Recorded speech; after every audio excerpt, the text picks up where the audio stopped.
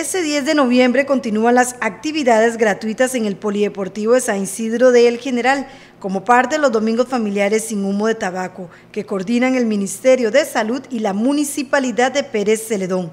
De 9 de la mañana a 2 de la tarde habrá presentaciones profesionales de skate, BMX, scooter y patines. De 9 a 10 de la mañana será la clase de Zumba y posteriormente será la presentación de la banda independiente Elemental. A las 11 de la mañana se presentará la obra de teatro denominada 10 Pasos para Triunfar en la Vida. Durante todo el día habrá actividades recreativas, juegos tradicionales para todas las edades, canopy, inflables como el toro elástico, bumpers, salto gigante y más. Invitan a todas las familias a que participen y se hagan presente a las diferentes actividades.